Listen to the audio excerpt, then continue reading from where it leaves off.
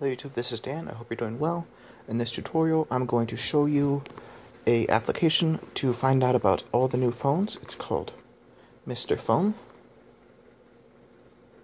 So it has some features and it's only getting better. Um, you can search for your phone. You can look for the newest phones. So just the other day, I saw in a clean environment without all the press releases that the new Samsung Galaxy Tab 2016 came out. You can check the specs. You can, if you want to, check stories. You can go to stories. Um, you can check the price at the bottom here. $330. You can check all the specs. You can add it to your favorites back at the top here.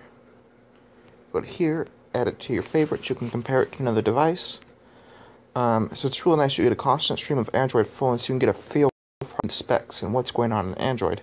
Um, you can view your favorites. So this is popular, and my favorites are here. So you can see, um, also the newest features that are coming up, which is going to be really cool, is advanced search.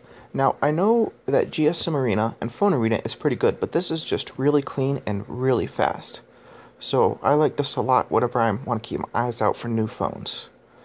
Um, news which I'm not a big fan of, and more news which I'm not a big fan of either.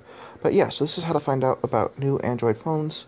So if you have any questions, just leave a comment below and I'll respond. Thanks for watching.